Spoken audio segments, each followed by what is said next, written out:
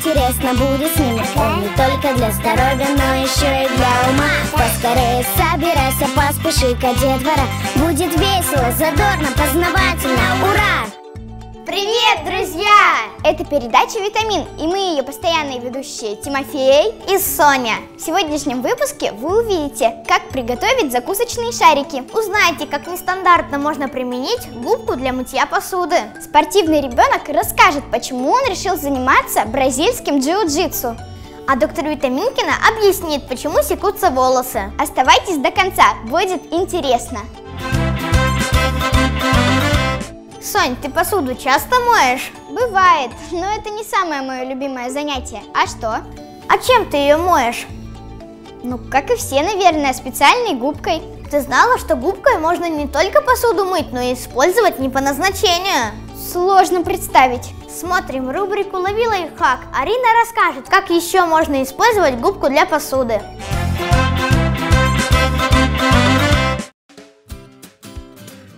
Привет! Губка для мытья посуды – это вещь в хозяйстве полезная. Они есть у каждого, но не все знают, как с максимальной пользой их применить. Мы привыкли, что губка служит на кухне для одной цели – мыть посуду. Но есть еще интересные и не менее удобные способы ее применения. Вам не нравятся капли клея, оставленные на столе после работы? Можно этот неприятный момент исправить. Нанесите на губку немного клея, оставьте на время, чтобы клей впитался, а затем смачивайте немного водой. Чистота гарантирована.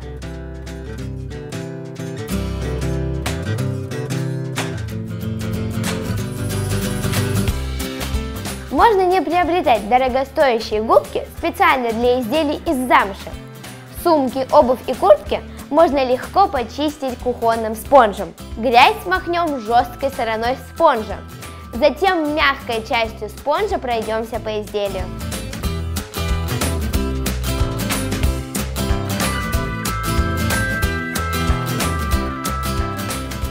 Не нужно шить или покупать специальные игольницы, когда под рукой есть губка. Если у вас нет под рукой специального спонжа для краски, можно воспользоваться кухонной губкой. А чтобы в процессе не испачкать руки, воспользуйтесь канцелярским зажимом.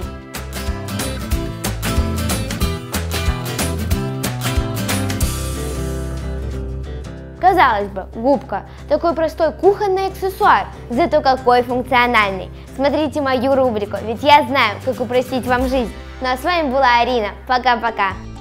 Тимофей, ты творческий человек? Мне кажется, да. А ты любишь делать какие-нибудь подделки? Когда есть настроение, могу что-нибудь смастерить. А что?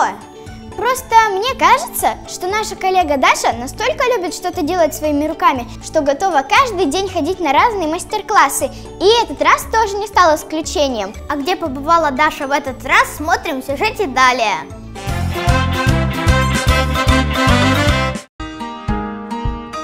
О, бисероплетение! Давно хотела научиться.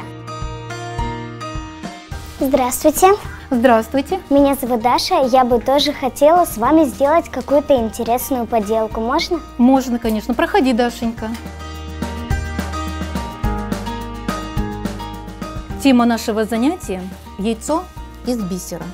То есть мы делаем вот на основе яйца, делаем вот такого красивого цыпленочка. Что для этого нужно? Для этого нужна нам заготовочка из пенопласта, для этого нам нужен бисер и нужна проволочка. Вначале мы набираем на эту проволочку бисер. Ну что, приступим?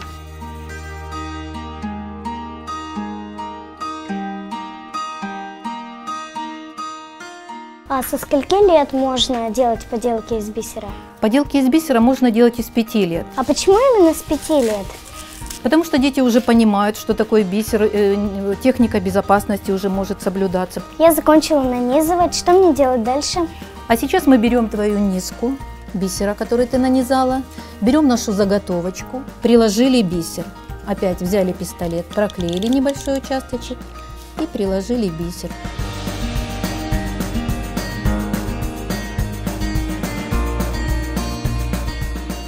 Меня готово. Готово? Прекрасно, умничка, молодец. Значит, заготовочка у нас есть, да? Теперь мы работаем по схемочке. Работаем строго по схеме. Что мы делаем?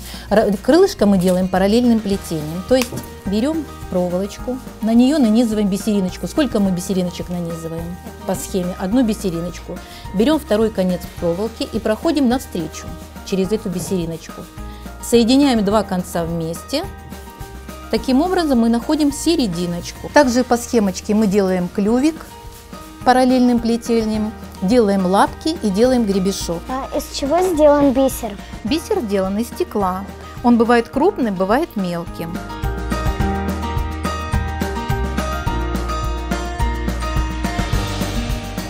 Детали у нас готовы. У нас с тобой сделано два крылышка, две лапки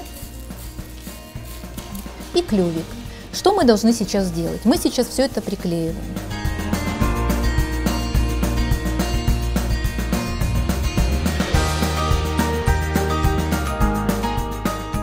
Спасибо вам большое за мастер-класс. Мне очень понравилось. Пожалуйста, Дашенька, приходи еще, многому научим. Хорошо. Вот такой вот милый цыпленок у меня получился. Обязательно научу свою сестричку. А с вами была Даша. Пока-пока. Сонь, вчера случайно подслушала разговор двух подруг, и одна жаловалась, что у нее постоянно секутся волосы, и она не знает, что с этим поделать. У меня к тебе вопрос, что такое посеченные волосы? Ну, это когда кончики волос совсем сухие и торчат в разные стороны. А у тебя такие есть? Нет, я этим не страдаю, но если тебя уж так заинтересовала эта тема, доктор Витаминкина с радостью нам об этом расскажет. Давайте смотреть. Добрый день, с вами рубрика «Просто о здоровье» и я ее ведущая, доктор Витаминкина. Секущиеся кончики – основная проблема волос, которая мешает им выглядеть здоровым и ухоженным. Секущимся принято называть такие волосы на кончиках, в которых становится заметно расшибление. Внешне напоминает метелку. Повреждение волос следствие неправильного ухода, частое использование фен, утюжка, плойка. Все это приводит к испарению естественной влаги в волосы, оказывает большой вред продукты с большим содержанием сахара, нарушается поступление в организм кальция. Восстановить секущиеся кончики можно, используя комплексное лечение. Сначала необходимо убрать уже посеченные кончики, а потом предотвратить появление новых. Нужно постараться отказаться от применения фена и утюжка. Не используйте расчески и заколки с чересчур острыми зубчиками. В холодное и жаркое время года защищайте голову головными уборами. Используйте расчески исключительно из натуральных материалов, например, из древесины.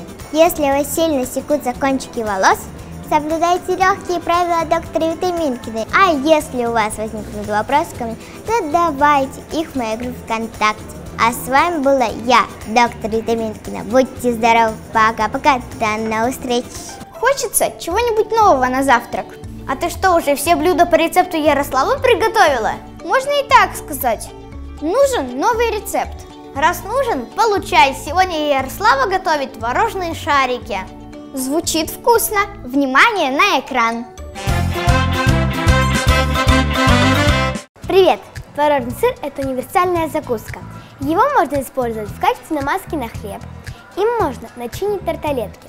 В общем, его можно использовать практически в любом блюде.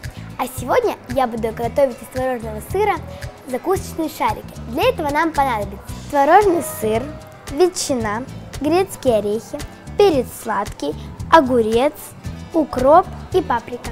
Начнем с приготовления начинки. Ветчину, огурец и перец нарезать маленькими кубиками.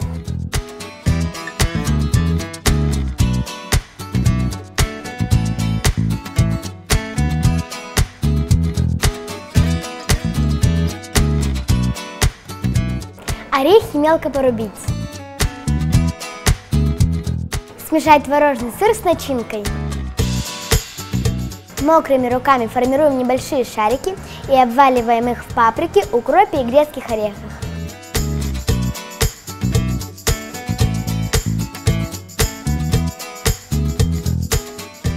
Вставляем шпажки. На вкус эта закуска очень интересная. Она легкая и сытная одновременно. А внешний вид таких шариков обязательно порадует ваших гостей.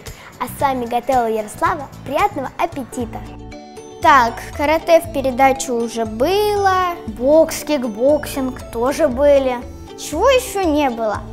Джиу-джитсу. Точно, это древнее боевое искусство, переводится как искусство мягкости. А подробнее об этом виде единоборств нам расскажет следующий участник рубрики «Спорт детки». Смотрим! Всем привет, меня зовут Рушти, мне 9 лет, я 4 года занимаюсь джиу-джитсу. Занимается довольно плодотворно, старается. Первое место по Крыму занимал на соревнованиях, а вторые места занимал тоже по Крыму. Здесь 4 года он заработал, если не ошибаюсь, по-моему, две золотых медали, две серебряных. Бразильское джиу-джитсу – это бразильское боевое искусство, а построено на партере, на полу, все болевые, удушающие, да, возможно на нем. Мы боремся, разминаемся. Я стал знать много приемов, могу их применить, если надо будет. Захват, удушающий, ну, еще проходы. Какой-то вот самый такой интересный маунт. Это ты садишься на живот э, к своему сопернику и его удерживаешь. У меня уже желтый пояс долго шел на него. Вот год назад его получил. Я прошел белый, я прошел серый, потом и потом уже вот получил желтый. Полоски на поясах, тут должно быть, да, четыре полосы. А каждая полоска это говорит о том, что ребенок там на шаг подошел к следующему поясу, ну либо взрослый, разумеется. То есть первая полоска, она в принципе отвечает за технику, так же, как и вторая. Вот, и третья, четвертая полоска, она отвечает за какие-то там моральные качества. То есть, если он там уже готов, там становится более ответственным, то есть он может что-то подсказать другому, объяснить. То есть ему там дается третья, четвертая полоса. Когда он их собирает четыре на поясе у себя, он готов уже перейти к следующему поясу. И так вот заново. То есть набирается новой техники, новых каких-то там знаний, там новое мышление у него появляется, и снова следующий пояс. Как и любой спорт, где-то дисциплина, э, вот какая-то ответственность у них появляется. Э, само собой не понимаю, что младших бить нельзя, надо заступаться за других ребят. И, ну, наверное, какую-то силу он дает в жизни. Ребята, передача подошла к концу. Но не расстраивайтесь, ведь мы увидимся ровно через неделю. Пишите в нашей группе ВКонтакте сюжеты, на какую тему вы бы хотели увидеть в следующем выпуске. Ну а на сегодня мы прощаемся. С вами были Соня, Тимофей и передача «Витамин». Пока!